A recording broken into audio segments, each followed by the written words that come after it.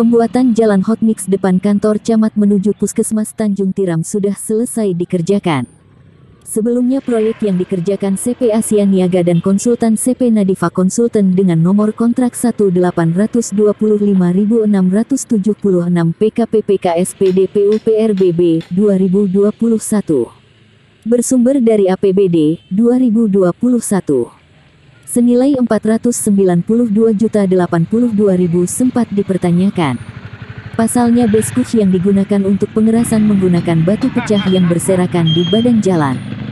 Selain itu ketebalan beskuh saat dilakukan pengukuran ketebalan hanya sekitar 5 cm dari dasar bangunan yang lama. Saat ini proyek peningkatan ruas jalan yang dikerjakan oleh CP Asia Niaga tersebut sudah selesai dikerjakan dengan keadaan mulai rusak. Di bagian pinggir jalan terlihat gumpalan hot mix yang sudah mengeras diduga suhu hot mix yang digunakan untuk pembuatan jalan sudah tidak panas.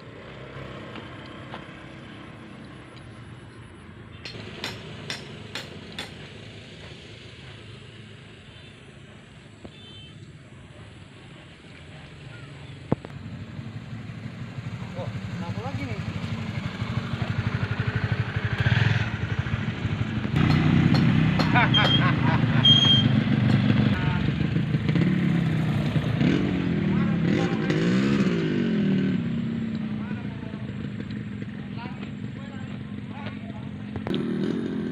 Sebelum di hot orang ini ada ditimbun base lagi, Pak? Gimana? Ada ditimbun base lagi?